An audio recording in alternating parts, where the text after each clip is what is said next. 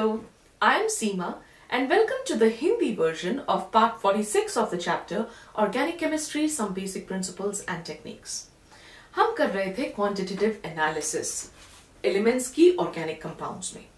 तो हम एनालाइज कर रहे थे एलिमेंट्स कंपाउंड्स को। तो हमने सबसे पहले क्या किया कि हमने ये पता किया कि उस कंपाउंड में कौन कौन से एलिमेंट्स हैं।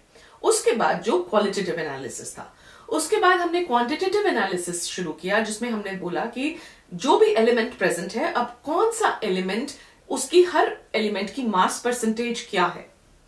वो पता करने के बाद हम उसका एम्पायरिकल फॉर्मूला एस्टिमेट कर सकते हैं।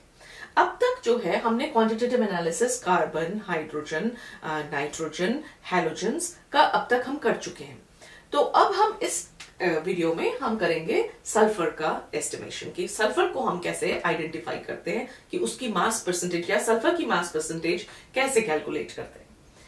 पिछले वीडियो में मैंने आपको बताया कि हेलोजेंस के एस्टिमेशन के लिए हम एक कैरियस ट्यूब यूज़ करते हैं और उस मेथड को हम कैरियस मेथड बोलते हैं। कैरियस मेथड में एक कैरियस ट्यूब यूज़ की जाती है, जो 50 सेंटीमीटर लंबी होती है और 2 सेंटीमीटर वाइड होती है। इसमें बिल्कुल इग्निशन ट्यूब जैसी एक छोटी सी ट्यूब डाली जाती है, जिसमें हम कंपाउंड डालते हैं और जो एक और ऑक्सीडाइजिंग एजेंट के साथ उसको हम रिएक्ट करते हैं स्ट्रॉन्ग ऑक्सीडाइजिंग एजेंट के साथ। और उसको रिएक्ट करके उस जो भी एलिमेंट हमें चाहिए होता है, उसको ऑक्सीडाइज करके हमें वो मिल जाता है। उसके बाद हम उसको उसका प्रेसिपिटेट बनाते हैं। जैसे हेलोजेंस के केस में हमने उनका उनका सिल्वर हेलाइड बनाकर हमने वो प्रेसिपिटेट बना के अलग किया था। फिर उसके मास को हम, उस हेलाइड के मास से हमने हेलोजन का मास सिल्वर हेलाइड से हमने हेलोजन का मास कैलकुलेट किया और फिर उसको यूज़ करके हमने उसकी मास परसेंटेज निकाल। इस केस में भी हम ऐसा ही करेंगे कि हम पहले सल्फ़र को एक प्रेसिपिटेट में कन्वर्ट कर लेंगे और फिर उस प्रेसिपिटेट के मास से हमें उसके मोलर मास से उस कंपाउंड के उसका uh, जो सल्फ़र का अमाउंट है वो हमें मास हमें पता चल जाएगा और फिर उसके बाद तो हम उसका uh, जो मास परसेंटेज है वो निकाल ही लेंगे। तो हम इसमें क्या करते हैं कि कैरियस ट्यूब में सबसे पहले एक नॉन मास कंपाउंड का लेते हैं। हमेशा जो भी आप कंपाउंड शुरू करते हो, उसके मास आपको पता होना चाहिए। तभी तो आप बोलोगे कि इतना मास मैंने लिया था, इसमें से इतना ये एलिमेंट था तो this element upon this element into hundred the mass of the element upon the mass of the compound into 100 आपको मास परसेंटेज देगा ना? तो उस, इसलिए सबसे पहले आप मास कंपाउंड एक नॉन मास कंपाउंड के साथ शुरू करते हो reaction A known mass of the organic compound is heated in the Carius tube. उसे Carius tube में हीट करते हैं और एक ऑक्सीडाइजिंग एजेंट के साथ, जो सोडियम पेरोक्साइड भी हो सकता है या फ्यूमिंग नाइट्रिक एसिड भी हो सकता है। जब आप एक ऑक्सीडाइजिंग एजेंट यूज़ करोगे, अगर कार्बन प्रेजेंट है कंपाउंड में तो कार्बन कंबाइन करेगा ऑक्सीजन के साथ। उस ऑक्सीजन का सोर्स कौन है? नाइट्रिक एसिड या सोडियम पेरोक्साइड और उस, वो बना देगा कार्बन डाइऑक्साइड जो हाइड्रोजन प्रेजेंट है टू एच बोलोगे प्लस ओ नेसेंट ऑक्सीजन वो क्या बना देगा? कार्बन सॉरी वाटर दोनों कार्बन डाइऑक्साइड और वाटर जो है, वो रिएक्शन में ही कार्बन डाइऑक्साइड तो निकल जाएगी वेपोरेट कर जाएगी वाटर वहीं डिजोल्व करेगा या वेपर बन के निकल जाएगा। लेकिन आपके एक बार ये सेपरेट हो गए ऑक्सीडाइज होके इन्होंने दूसरे कंपाउंड बना दिए। लेकिन अगर सल्फ़र प्रेजेंट है तो सल्फ़र जो है, वो भी नेसेंट ऑक्सीजन के साथ कंबाइन करेगा और एक मॉलिक्यूल वाटर के साथ भी रिएक्ट करेगा। और ऑक्सीडाइज होके H2SO4 बना देगा।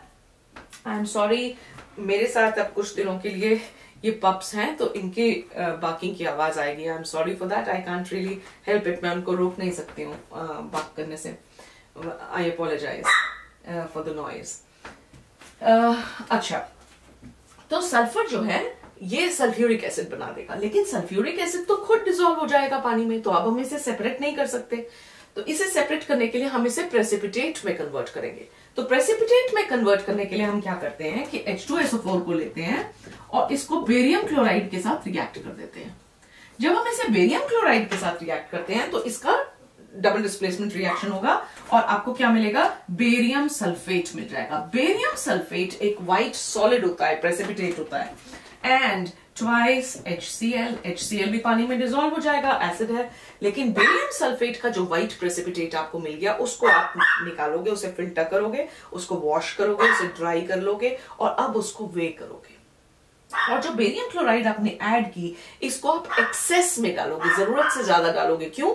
क्योंकि आप नहीं चाहते कि कोई भी सल्फ़र जो प्रेजेंट है कंपाउंड में, जो था, वो बेरियम सल्फेट में कन्वर्ट ना हो। तो बेरियम क्लोराइड थोड़ा सा वेस्ट हो जाए, ठीक है, लेकिन अगर सल्फ़र कम मिला आपको इसमें बेरियम सल्फेट में तो आपका सारा एस्टिमेशन गलत हो सकता है। तो आप पूरे का पूरा सल्फ़र जो है, वो रिएक्ट करके बेरियम सल्फेट बना देना चाहिए। तो अब हम पढ़ते हैं इसको कि sulphur is oxidise to H2SO4 पहले सल्फ़र H2SO4 में ऑक्सीडाइज हो जाएगा, फिर इसको हम प्रेसिपिटेट करते हैं। It is precipitated as barium sulphate by adding excess of barium chloride in water excess barium chloride डाल के वाटर में हम उसको प्रेसिपिटेट करते हैं। जो प्रेसिपिटेट बनेगा, वो बेरियम सल्फेट का होगा, उसको हम फ़िल्टर करेंगे ड्राई करेंगे और उसे वे कर लेंगे। अब यूनिटरी मेथड से हम, हमें मोलर मास पता है बेरियम सल्फेट का। बेरियम का मास 137 होता है सल्फ़र का 32 होता है ऑक्सीजन का 16 होता है। तो 16 four are 64 and sulphur is 32 and barium is 137 इन सबको ऐड करो तो जो मास है बेरियम सल्फेट का, वो 233 ग्राम्स बनता है। ठीक है? मोलर मास अब हम कहते हैं कि लेटेस्ट एज्यूम कि हमने जो भी मास लिया था ऑर्गेनिक कंपाउंड का, वो एम ग्राम्स हमने लिया था।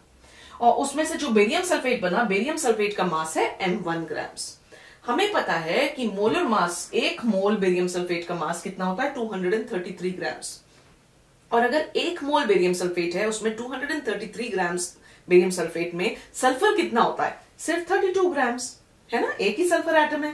तो 233 ग्राम्स बेरियम सल्फेट में 32 ग्राम सल्फ़र है, लेकिन हमें कितने ग्राम मिला है बेरियम सल्फेट m1 ग्राम तो m1 ग्राम में कितना होगा? वो हम यूनिटरी मेथड से निकाल लेंगे।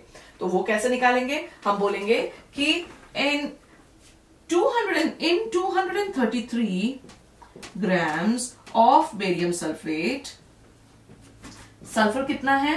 सल्फ़र है 32 ग्राम्स ठीक है?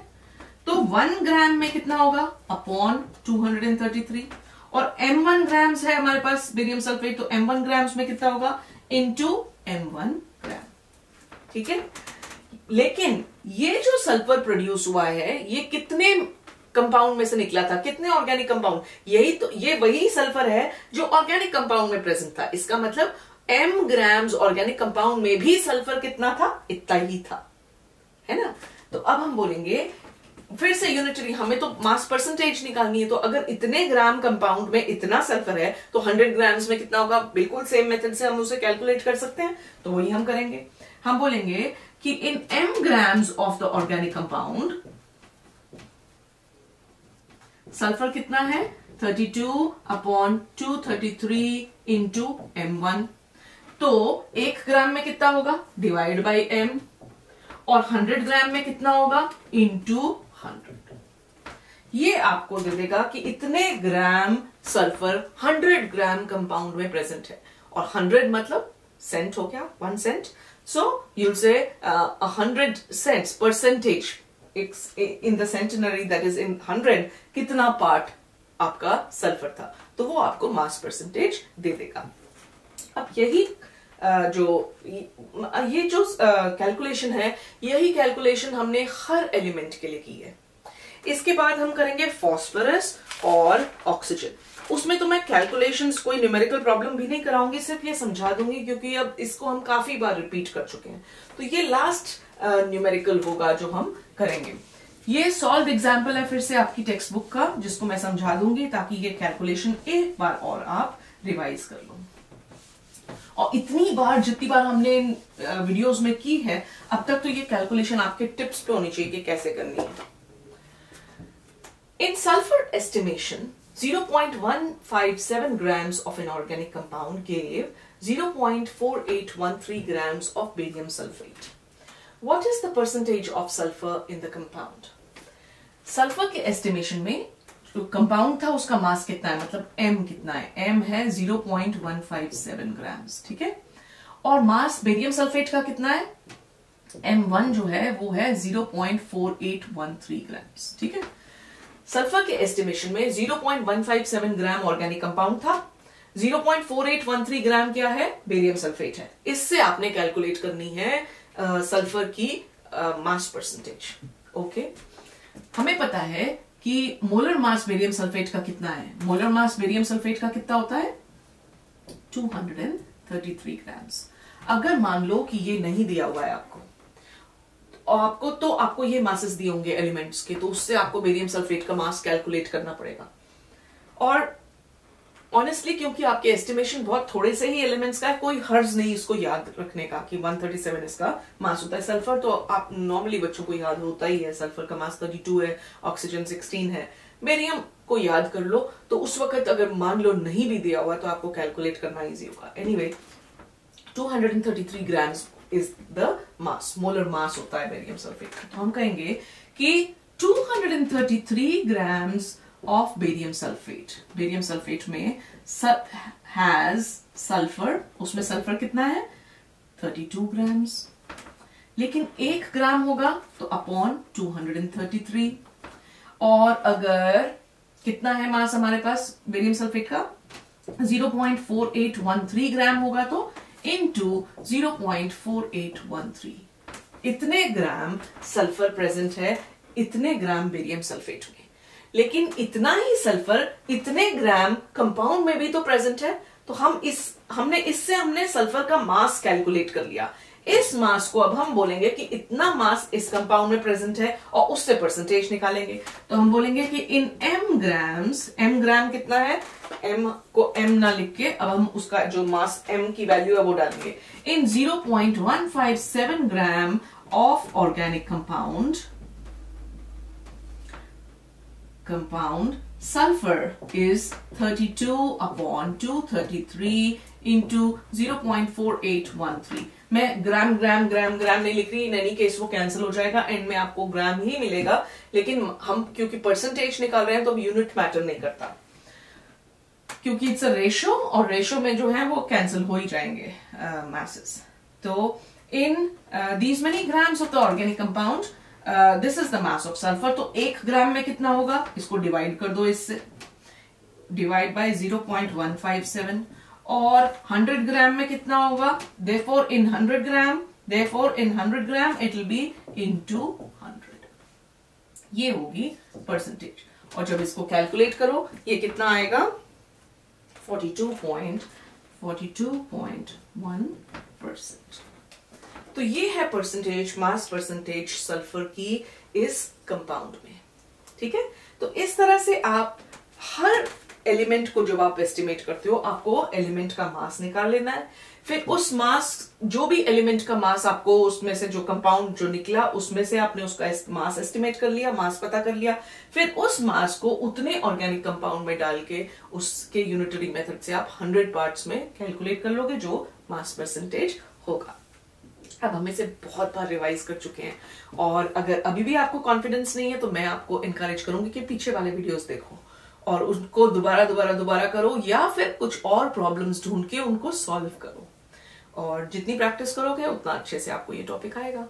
तो इसी के साथ मैं आज की वीडियो जो है यहीं पे फिनिश करती हूँ। अगर आपको ये हेल्पफुल लगी तो थम्स अप दीजिए सब्सक्राइब कीजिए मेरे चैनल को रेकमेंड कीजिए अपने फ्रेंड्स को, और बार बार आते रहिए मेरे साथ केमिस्ट्री पढ़ने के लिए। Thank you for watching and bye for now.